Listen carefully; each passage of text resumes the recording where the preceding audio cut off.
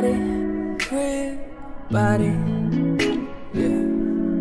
Did I ever ask you to take YouTube, I'm back and I'm trying as I am Jamaican black castor oil collection. I decided to go ahead and try their mask, their coconut co-wash. The original is the bomb on my hair, so I'm excited about this one. And their conditioner. I don't think I'm using the conditioner today, but I bought it. As you can see, my hair is dirty. So first I'm gonna go in and just rinse my hair, get it nice and wet so as I add the co-wash, it will be ready.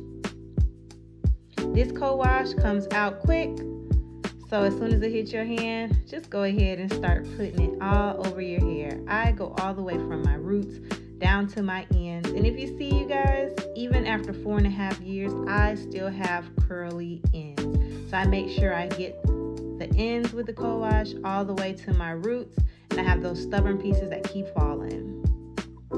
After applying it and thoroughly putting it through my hair, I go ahead and rinse it. Then I go in with my hair mask just because I want to get that moisture back in my hair. A little goes a long way. I was a little messy putting this on you guys, so if you get it on your forehead, take that little piece, that little bit on your forehead and go ahead and apply it to your hair. Then, because my hair is so thick, I used a shower cap to put on my hair just to keep it so it won't fall out. The thinner caps just don't work for me.